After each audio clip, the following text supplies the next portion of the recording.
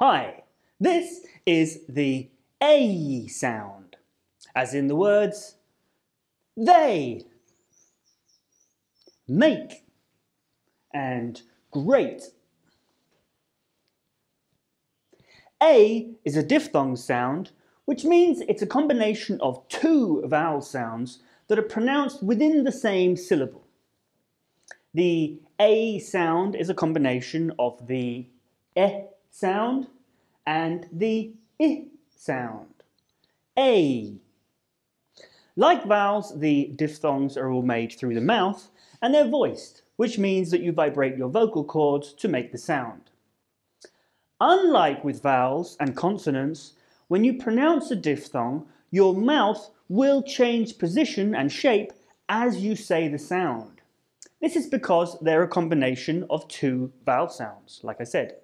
So, as you say A, your mouth will start on the position of the E and finish on the position of the I or E sound.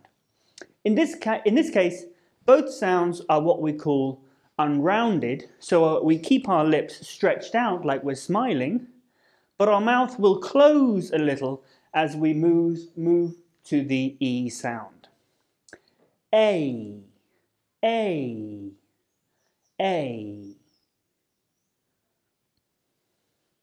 One of the most difficult things about learning English is the spelling. And this is because spelling is often not phonetic, especially with the vowels and diphthong sounds.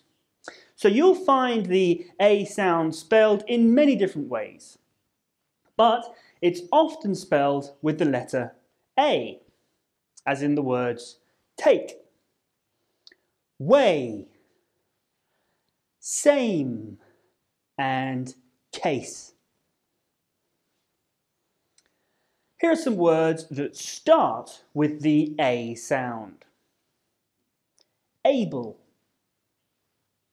age, eight, and agent.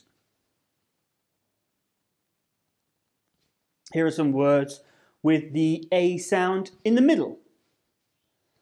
Game, state, later,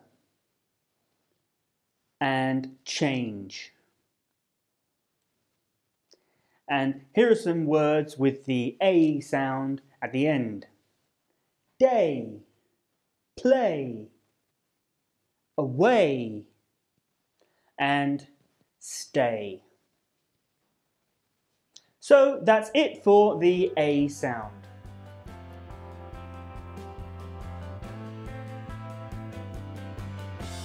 We've also made videos on each of the phonetic sounds, which you can see by clicking on these links.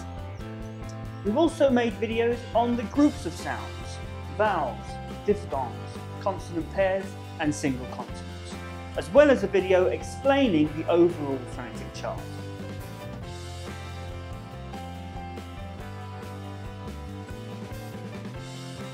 We regularly post new videos, so if you like this video and want to improve your English, please click here to subscribe to our channel. At the English Language Club, we also offer live classes online via Skype or Google Hangouts.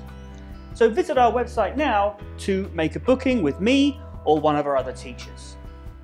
You can also follow us on Twitter and Facebook.